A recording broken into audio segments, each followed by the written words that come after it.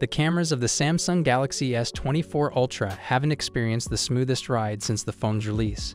However, it appears that a solution is in the works to address the remaining three issues.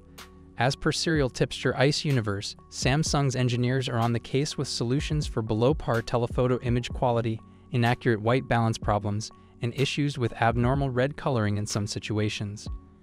According to Ice Universe, Samsung Galaxy S24 Ultra will improve many camera problems in the next camera firmware update, including telephoto image quality, inaccurate white balance, and abnormal red color.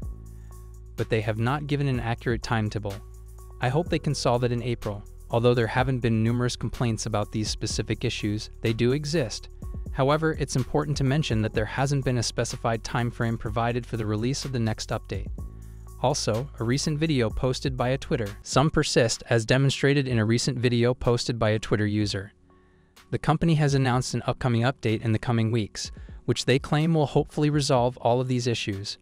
Whether or not this promise holds true is uncertain, but one can certainly remain optimistic and anticipate the best outcome.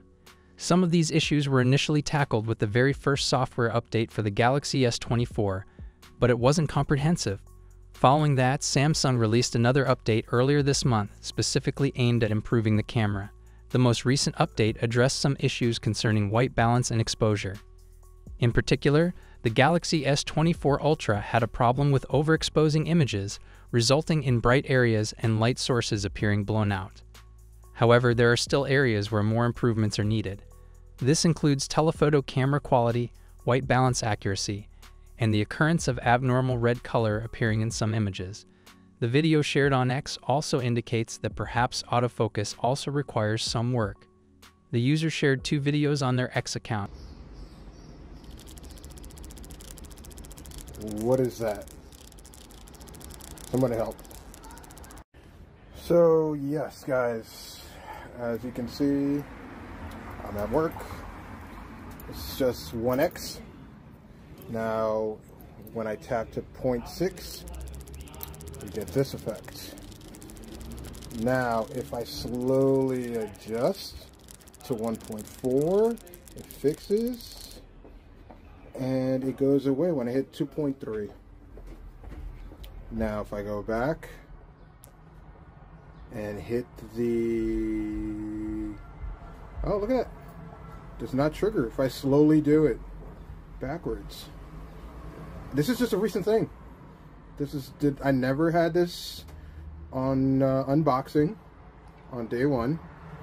This has started happening. I want to say like maybe over the weekend.